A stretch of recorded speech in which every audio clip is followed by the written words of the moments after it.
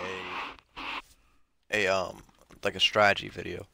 So a big strategy that would be very very beneficial to you guys is if you are um are getting players from um getting players from hut rivals and hut champs do do not um if any of you haven't built these or you built them even don't be doing these at all I I wouldn't even recommend these new ones yet but what I would recommend next like wait until like um a very good player comes out. So far, Naslund and and Larionov will be really good, obviously, but they're not like they're not like the best that, that you can get. Like the best would be like Modano or like a D-man, um, someone who's like six foot two, six foot three, or if like the the Gretzky uh, thing comes out.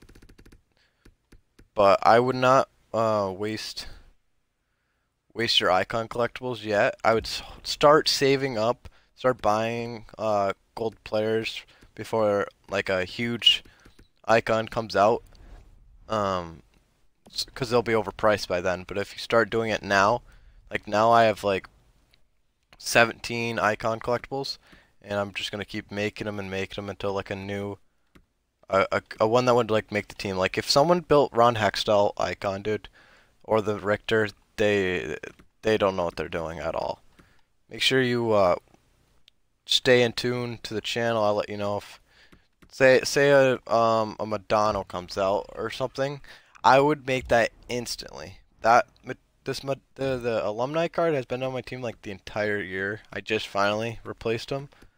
Um, these are the cards I would say to make if they come out.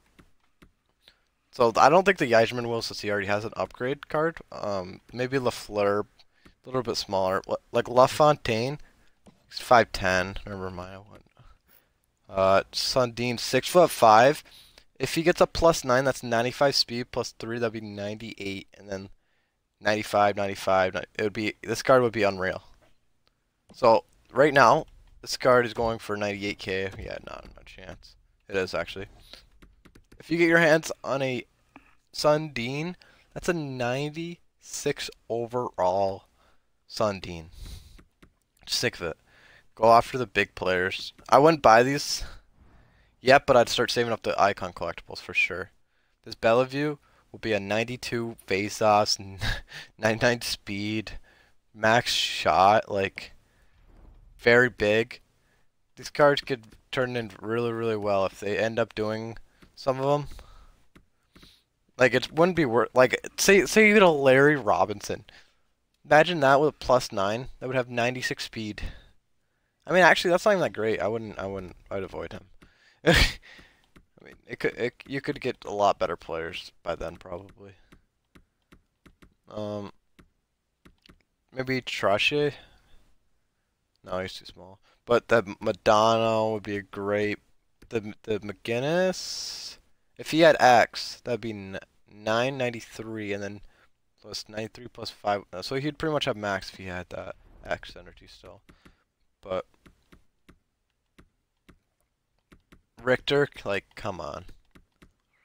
Forsberg would be a great one too. Um, card's very good. But like people like that, I'd save the collectibles for them. Do not make the ones now. Alright, well, thank you guys for watching. Um, subscribe, like, and peace.